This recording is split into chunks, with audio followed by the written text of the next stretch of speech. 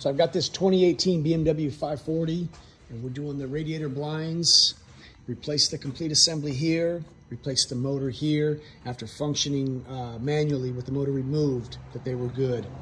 No binding, no broken linkages. To get this apart, to get this one out or this one, the bumper has to come out. There's no way around it. It has to come out. This lower one, you're gonna remove this trim piece. There's four screws. Just gonna clip up out of there. You gotta kind of squeeze it out, but it'll come out.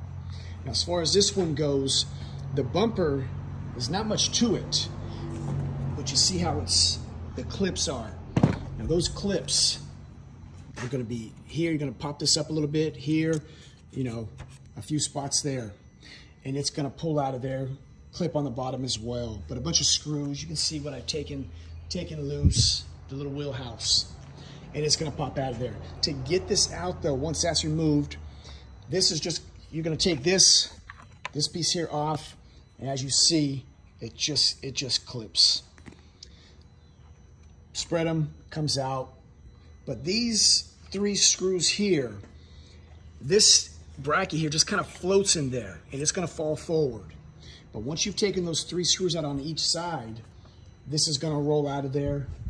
Your motor, let's see, there's your part number, know, 70, 80 bucks. It's not expensive, but you can replace that. But what you're gonna wanna do is before it all goes back together, just function test it and make sure that it's that it's good. So we're gonna, they're closed. So now they're open. Continue this procedure. Now it's closing. There's your bottom one.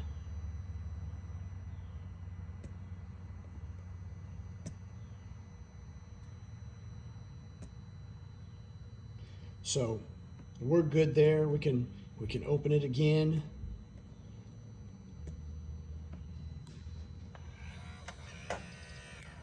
Open. Open. So they're both working. Now this stored a permanent fault. There's a procedure for that. I'll let you go through that and play with that.